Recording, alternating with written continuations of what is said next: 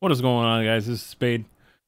So last night I uploaded a video regarding not being able to install the Halo Master Chief Collection through the Windows Store on PC, and I managed to kind of fix the problem. And I say kind of because it kept trying to install to my C drive, which I was not able to change that. No matter what, it would always install to my C drive. There was nothing I could do to change that. Ultimately what I did, I wound up clearing some data off of it just enough to install uh, the actual Halo Master Chief Collection. And I was able to get it installed and play. So what I wound up doing after I got it installed after clearing some space is I went to my Windows system settings. So I just went to settings right here. And then you're going to go to system. I don't think it's here, but up in the find a setting box, you're just going to type apps and features. So apps and then and features, my face is blocking it. And apps and features pops up right here. So you're just going to click on that.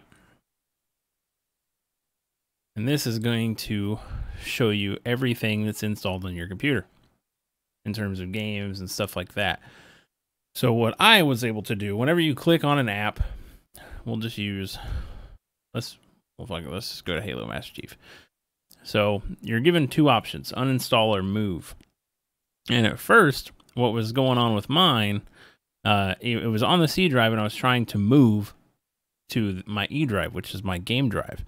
And I would click move, and it would just it would attempt, and it would just give me an error. No matter what, it would just give me an error. So what I wound up having to do, I clicked advance, and it brought me to this screen.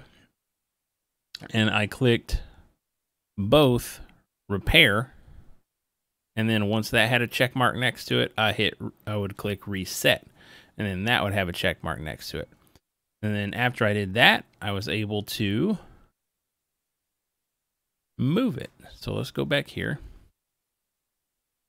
And just to show you guys where I have it installed, I was able to move. And as you can see now, this app is currently installed on Games and Recordings E, which is my E drive.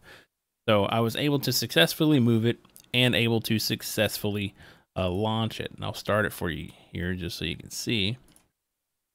I am able to start the game up and play without any issues.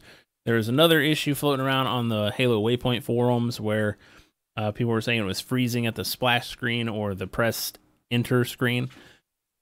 There's not really a fix for that. I, it's not like I found a fix. Uh, I actually just got up to go do something whenever it froze. I knew it was freezing, but I just had to go do something. And whenever I came back and sat back down, everything was moving again. I was able to do like have mouse control. So you just have to let it sit through that freeze for about 10 minutes or so, and then you'll have control over it again. At least that's what I did. And whenever I suggested it to someone on the forums, they said, hey, this actually worked. So just one of those things. But as you can see, it's loading up slowly, but surely we'll get there. Mm-hmm, mm-hmm, mm-hmm, so press enter to start. And there you go. So I am able to play the game now. It's kind of a, a, stupid thing that you're having to do.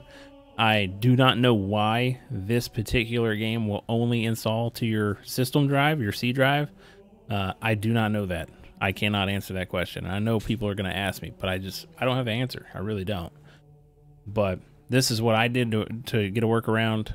Sadly, I did have to get rid of some some it was stuff that wasn't being utilized, but I don't like to have to delete stuff off my Windows drive, which is my C drive. Uh, so I just cleared up just enough space. Uh, luckily, I had some temp files that were taking up some space, so I just cleared that off and was able to get everything installed and running and moved to where I wanted it to be. But hopefully, this video helps you guys out. If not, I'm sorry. Uh, but if it did, definitely leave a thumbs up on the video comment, let me know. I appreciate it a lot. Thanks for watching, guys. See y'all later.